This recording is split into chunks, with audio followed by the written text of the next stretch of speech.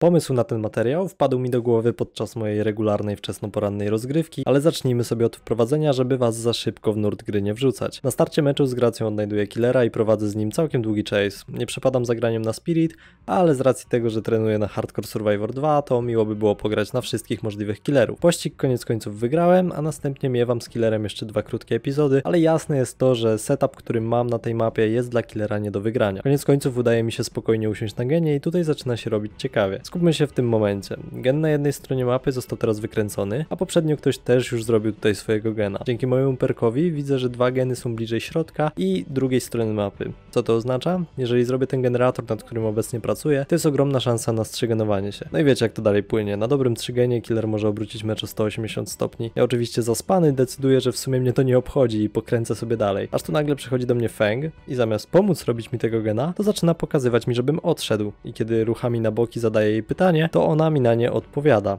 Idziemy więc razem zrobić innego gena, ale okazuje się, że cała troska mojego współgracza idzie na darmo. No ale i tak, chłop chciał się porozumieć w grze, korzystając z podstawowych możliwości i co najlepsze, udało mu się to. Trochę gorzej by było, gdybym nie wiedział w jakiej potencjalnie sytuacji jesteśmy i uznał tego gracza za idiotę albo po prostu go zignorował. No ale spróbował, udało się, taki mamy wynik. Ale to było użyteczne, kiedy gracze nie mieli w pobliżu killera, a sytuacja nie była krytyczna. Co gdy faktycznie na mapie jest gorąco, a gracze nie mają siebie w zasięgu wzroku? To się stało w jednym z następnych meczy, gdzie po solidnym starcie i kilku powaleniach wplatam się w kilkunastosekundowy pościg. No i widać tutaj brak slowdown perków. Mecz przechodzi do endgame'u zaledwie 5 minut po starcie. Pomimo aktywnego wieszania, ale nie wszystko stracone. W mojej historii grania Hillbillim zdarzało mi się wygrywać takie przegrane pozycje. Not an ego, just facts. Wokół haka kręcą mi się teraz dwie osoby. W wyniku zagapienia udaje mi się jedną z nich zeslagować i teraz tak naprawdę czekam aż sobie na haku skończy się czas i o dziwo Feng nie zamierza mi w tych planach przeszkadzać i odsuwa się całkowicie od miejsca akcji, co potem skutkuje w powieszeniu, powaleniu, a następnie kolejnym powaleniu. A w tym czasie Feng otworzyła sobie bramę i cóż, niedługo później uciekła. Można tutaj powiedzieć, że Feng to po prostu beznadziejny random i nic się nie dało z tym zrobić, ale jak się przyjrzymy, to widać to troszeczkę inaczej. Gdy cofniemy się do momentu, w którym ostatni raz goniłem Feng, to niedługo później powala Madama i tak naprawdę na chłopski rozum całe to zagranie jest już spalone. Tutaj nie ma miejsca do dyskusji. Adam będzie leżał na ziemi, pani Claudette grzecznie zginie na haku i tak naprawdę w pojedynkę nic tutaj nie zdziałamy. Jednak jeden element tej układanki pominęliśmy. Jest to pan Ace, którego przez cały czas tutaj nie było.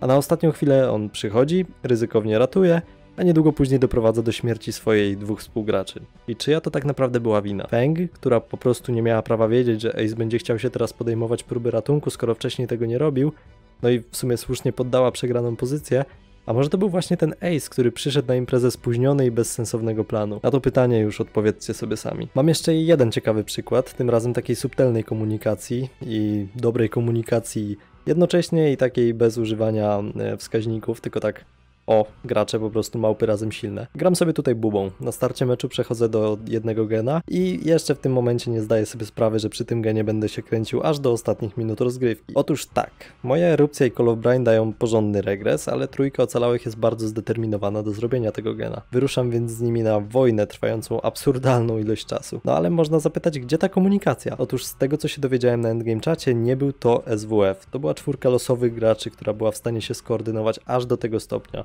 I to, że jest to trzech ocalałych, akurat przy tym genie, ma ogromne znaczenie. Gdyby to była dwójka, to tak naprawdę z samym Call of Brainem mógłbym w stanie tego gena wybronić i tak naprawdę wygrać go z czasem. Jednak, żeby mu aktywnie zagrażać, surwy potrzebują 75% swojego składu. I naprawdę robili to sukcesywnie, ale co robiła czwarta osoba? I tutaj ten fragment komunikacji, który podoba mi się szczerze mówiąc najbardziej. Czwarta osoba cały czas robiła geny, ale w innych regionach mapy. Mało tego, robiła je tak szybko, że zanim zabiłem nawet jednego ocalałego, pozostał tylko jeden generator do zrobienia. A jeszcze dodać Dodatkowo Feng Min zadbała nawet o to, żeby na mapie nie było szansy na 3 gena. Na nieszczęście jednak ocalałych pierwszy kill wpada szybko i od tego momentu meczu tak naprawdę niewiele mogą zrobić. Ale finalnie udaje im się wykręcić wszystkie generatory i zagwarantować jednoosobową ucieczkę. Czy w takim razie komunikacja bez SWF-u jest możliwa? No oczywiście, że jest. Gesty, które macie dostępne pod jedynką i dwójką, machanie głową, kucanie, to wszystko są środki komunikacji. Wprawdzie niewerbalnej, ale skuteczne zakomunikowanie komuś jakiejś informacji przy użyciu tych ubogich narzędzi nie jest oczywiście zadaniem prostym ale jeśli już się uda, to na pewno jest to spora dawka satysfakcji. Następnym więc razem, zamiast narzekać na współgraczy, spróbujcie im coś w ten sposób przekazać. Dzięki wielkie za oglądanie i trzymajcie się. Cześć. Chciałbym cię mieć na wieczór i kawę Zapukaj raz, to może się odważę Wyznać ci to, o czym marzę Nasze myśli błądzą same Mam już dość twych zagadek Zbite szkło na dywanie Mała chyba mamy dramę zaproszę na kolację. Chcemy pełno wrażeń, to będą najlepsze wakacje. Może nie na Zanzibarze